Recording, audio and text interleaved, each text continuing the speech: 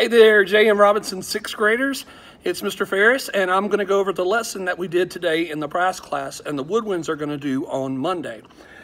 Today's lesson is about music theory.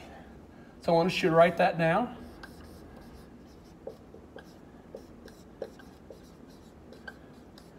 And music theory is the study of how to read music.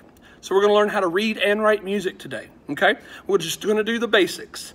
So pause the video if you need to write that down. We're going to go over the first thing, which is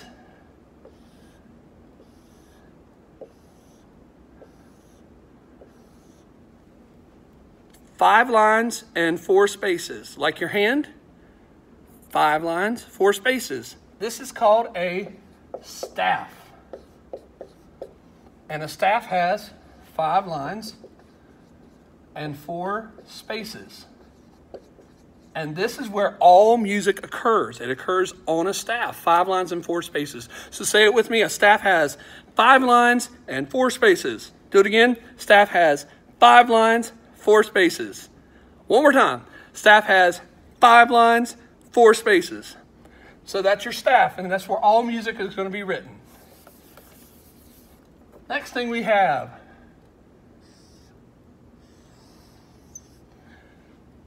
I'm going to teach you how to draw this. We're going to do a straight line, the letter P, and the number 6. Let's do that again. Straight line, letter P, number 6. Okay, 3 is my favorite number. That's why we're doing it three times.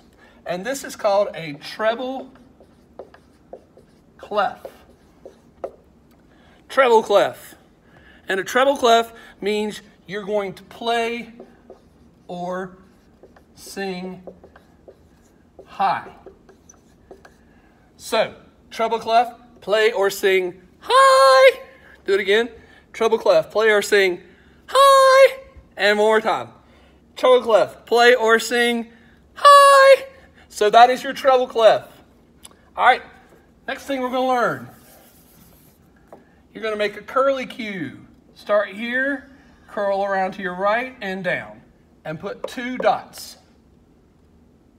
I'll show you that again. Curl around to the right, put two dots. Right here, curl around, put two dots. This is called a bass clef.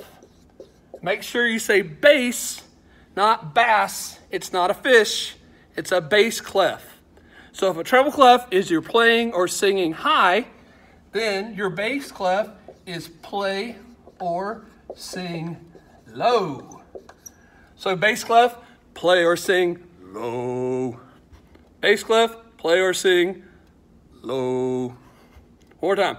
Bass clef, play or sing low. Okay, I'm back. I'm to draw a staff again. Remember, staff has five lines and four spaces. And then we're going to draw a vertical line through the staff. This line is called a bar line. Bar line. It separates music.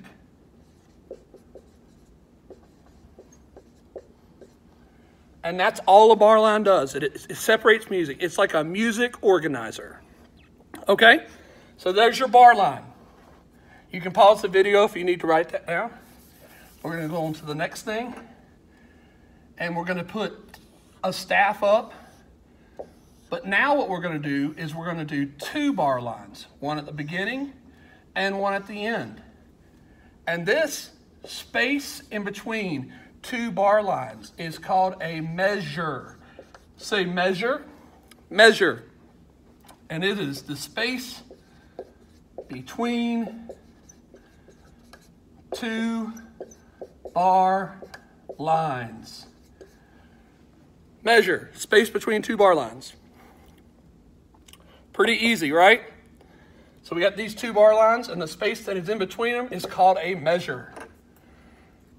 All right? Next thing, remember, you can pause the video at any time to write these things down, okay?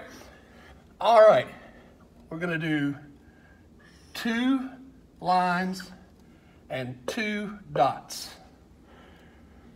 It's pretty easy, right?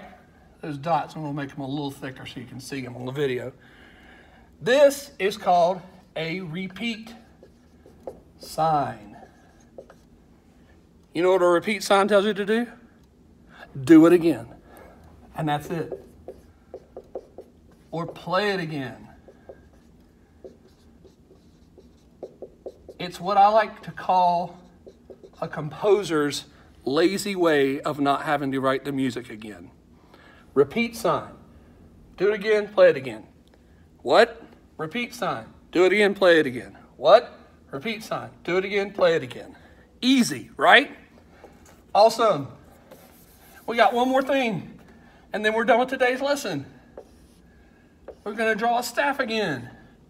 But this time, we're not going to put a bar line over here. We're going to put two bar lines close to each other right here.